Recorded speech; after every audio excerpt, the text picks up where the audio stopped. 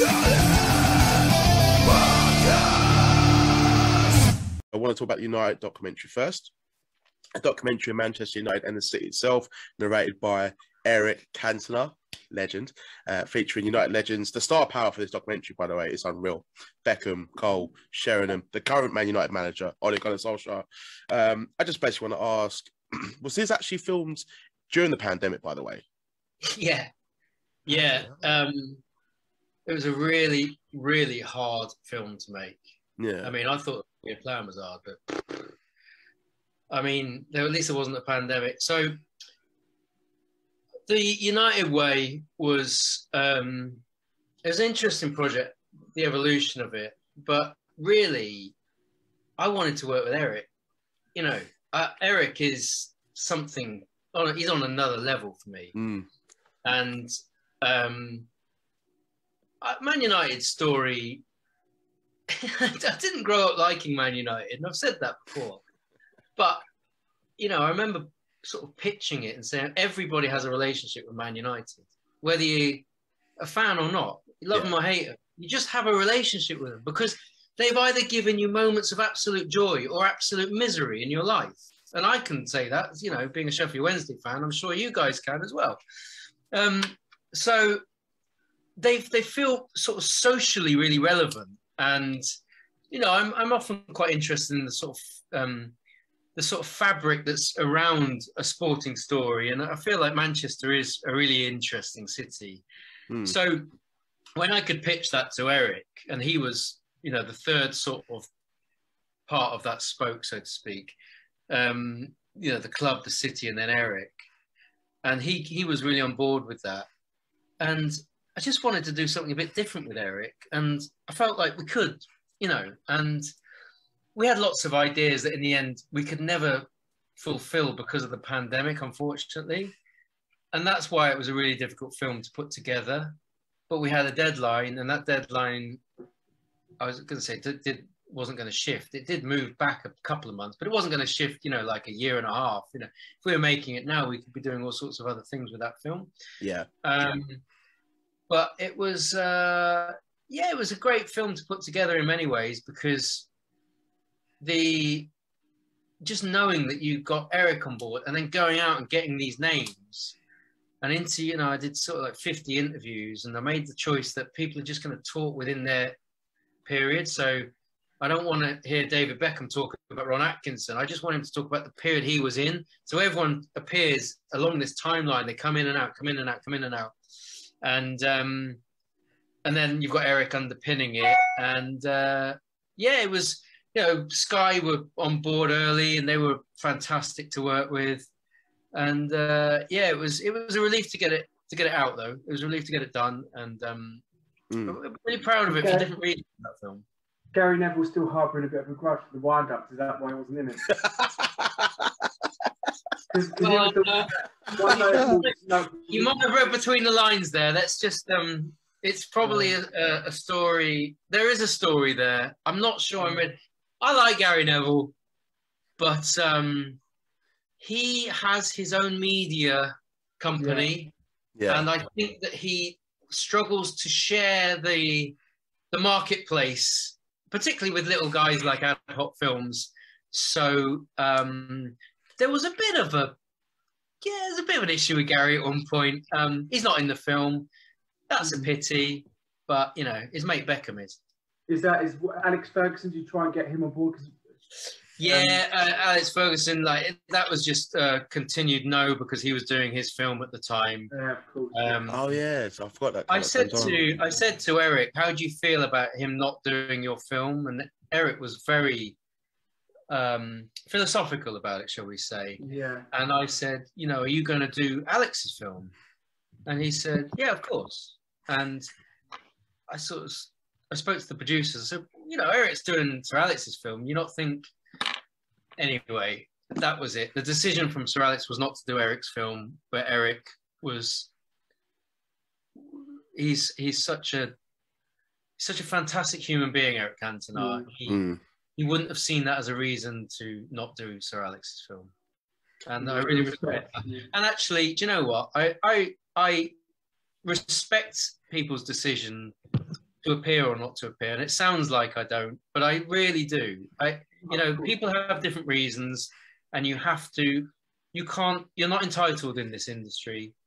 Um, I find it extraordinarily. I always find it surprising when people say, "Yeah, I'll do that film."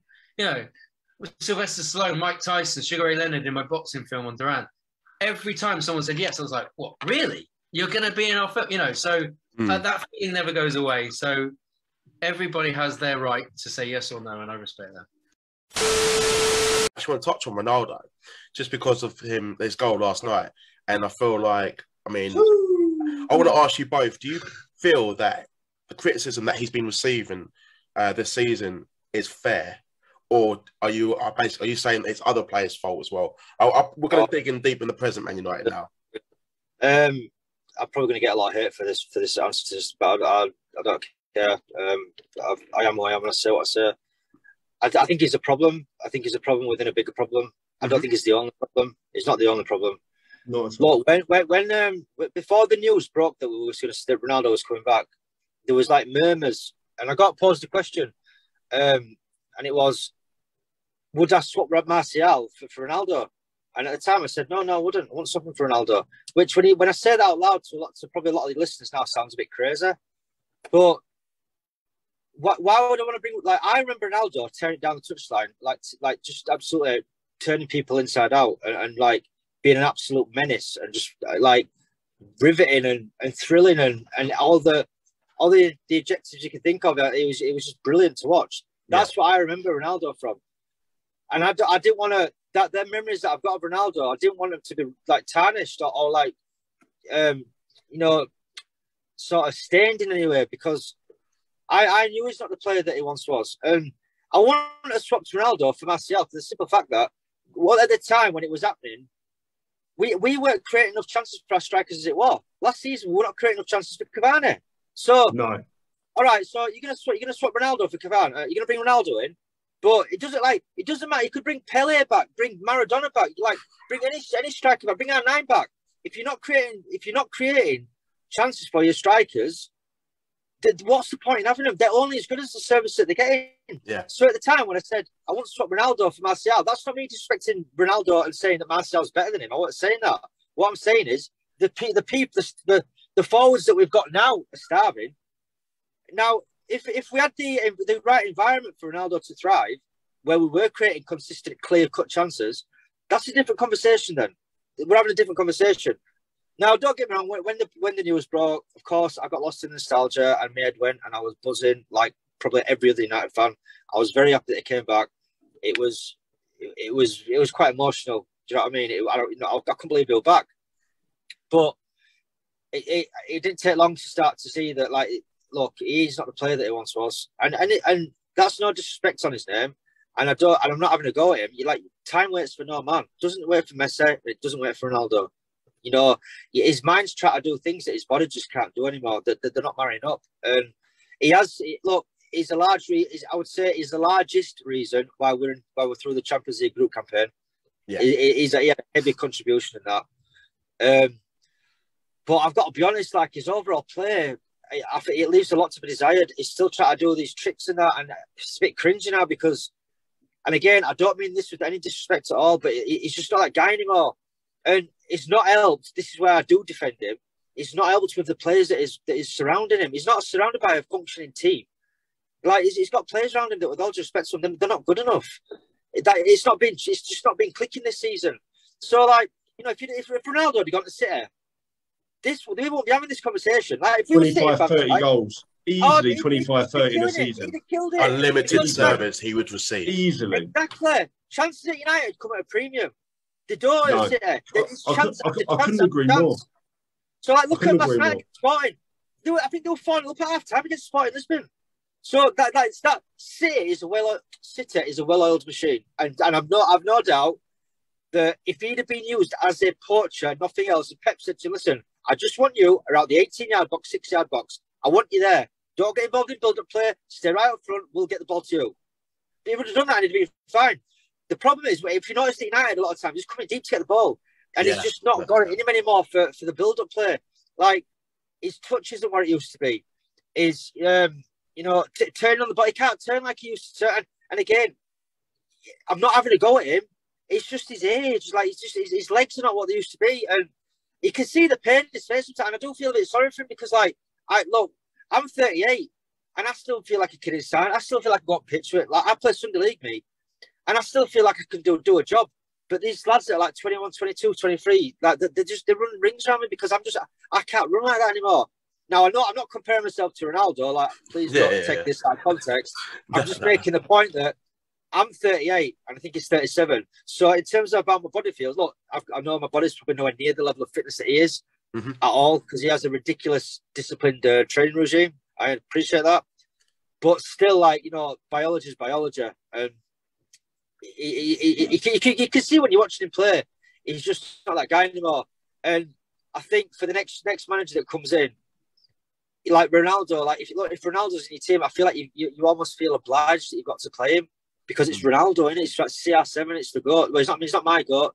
I know that's going to upset a lot of United fans. My goat's Messi, just just purely Oh. on the way he Oh, the game. Really? See, this is where we, we're Really? really? disagree. Me and Ryan, we love Ronaldo. Really? But we're not going to have that debate. Messi, Ronaldo. No, Yeah, Me- Messi, Messi's always been my goal. I just prefer the way he plays the game. Um, that, but that's not me disrespecting Ronaldo. Like No. we're talking. If someone says to me, "Ronaldo's the goat," I ain't gonna like lose my shit over it. And the same way, if, if I say to someone, "Messi's my goat," I wouldn't expect them to lose their shit over it. Like we're talking like margins here, not not, not you know, not not not the Grand the Grand Canyon.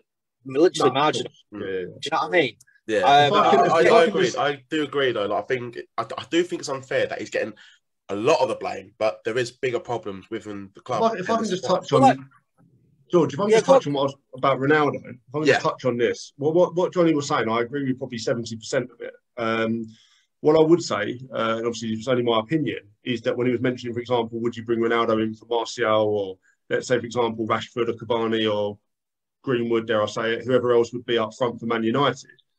I, I think there is a difference, and I know he's 37, 38, but I think because our squad it's not the 94 squad, it's not the 99 squad, it's not the 2006 squad, it's it's not good enough.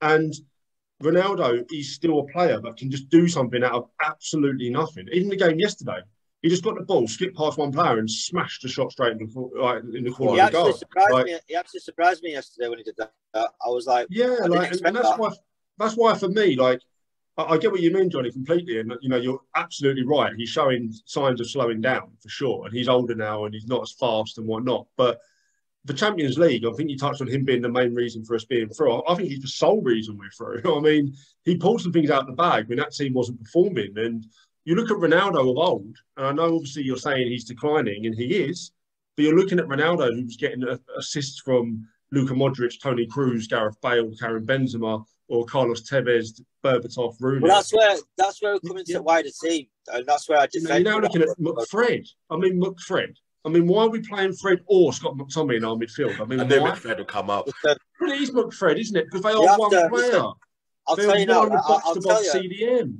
I'll tell you. I'm going to tell you names that I'd keep in this team. The rest, of, and I'm not. This is not. I'm not capping here on my son's life. These are the only players I keep. Right, Varane, De Gea, Yeah. Bruno? none, of- none at fullbacks. None of the fullbacks. Maguire's gone. They're all gone. They're not. They're not. They're not at the level. They're not at the level. They're gone. So De Gea, Varane, Donny Van de Beek. Bruno, right? I see. I don't rate Bruno like everyone else. does. I don't rate him. Oh, that's a we'll get- controversial take. We'll get into Bruno. We'll get into it. We'll get into it. But I- I'll, I'll delve No, into if you finish the squad, uh, then I want to hear it. But yeah, finish the squad, man. Yeah. Uh, Yeah, so De Gea, Varane, um, D- Donny, Pogba. Um, I would have Bruno on the bench. Um, Donny, Pogba, Bruno, Sancho, and Yeah, Jaden's improved a lot recently. I've seen Jaden's doing well now. Oh, Jaden Sancho.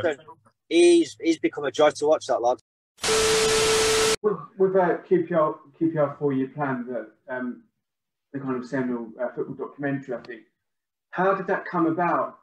Was it something that you seeked actively, or did it kind of fall onto you? And and did you, No. you did seek it, did you, did you look Not for that at sort of chaotic? Yeah, kind of not at all. Um, actually, that fell. It didn't fall on my lap. I got I got a call about about this job, about this documentary from another company actually, and this other company were doing commercial work for um, the ArcelorMittal Corporation, of which you know, Yeah. um, you know, Lakshmi Mittal. So I went to see them, and I sort of pitched what I would do this QPR documentary as. This was when the money had just come in, and Yeah. I didn't know anything about what they, what agreements they had or anything. And then they said, "Well, okay, uh, yeah." Sort of, so we don't lose you onto another job because we think you might be quite good for this one we'll give you some some little. Uh, so I did some commercials for the the Mittal stuff, and then this got up and running, and um, it was the first season, and it was a disaster. And that the guys that had sort of done the deal with QPR um, wanted to just go back to doing the commercial work with the Mittals. They weren't really well, were very well versed in doing documentary, and I'd got my teeth into it by that point. and um, so after the first season, the club, when I say the club, really, I'm talking Flavio, Bernie, Mittal, all said, well, that was kind of fun to film a year. It was an unmitigated disaster. Let's bin everything, you know, wash our hands of it and walk away. And the production company said, yep, we're, we're with you on that. And I said, no. And um, the production company said, well, we're not you know, we're, we're done with it. They're clearly not going to put any more money in, basically, was their issue. And I said, well, I've got a load of great footage here. I still believe in this. You don't make a great story, you know, it, you don't get promoted just in your first season. It's very unlikely, but, you know, there's a story here. And um, I said, I'll take it on. And that was then presented. I spoke to Amit about that. And Amit was, you know, Amit's not stupid. He said, look, if you're prepared to just take this on on your own, on your own dime basically we'll still allow you accreditation to the stadium you can have access to the training ground i'll talk to flavio i think flavio was pretty like no i don't want it i don't want it and in the end amit sort of said well i want it and it's not costing a penny what have you got to lose so then i sort of kept going i always remember saying like just keep keep the pulse alive you know keep it alive don't kill Yeah. it it did get killed several times i'm not going to lie and that wasn't that was probably the the, the lesser of the hurdles we faced over the next two or three years, but kept it going. So I sort of picked up other bits of work along the way to subsidize continuing it. And then um, when when things started to turn around, you know, I could have that conversation with the board, and you know, then they they all started to see themselves as investors in the film suddenly. So people were clamoring to invest a little bit more. It wasn't big money, but it was enough just to keep me filming and to finish it and that's how it got done really in the end and um, i remember saying to amit and him saying to me we had a we had a meeting one day and it was during that last season and again there's no guarantees but they were doing really well. And i said look whatever happens i can't do any more on this. You know i, I can't do another i can't do another year on this. And he said no i don't want us to do another year on this. You know i'm starting to think that you're bad luck Mat. And um, I'm starting to think that you know I can't go through just this obsession for another year. It, it, it burnt me out. So it was kind of like all or nothing to coin a yeah to Is it another title from another documentary. But it really was all or nothing for us at that point, and um, yeah, it was an amazing ending for, for so many reasons. You can imagine just personally what a, what a, a relief it was.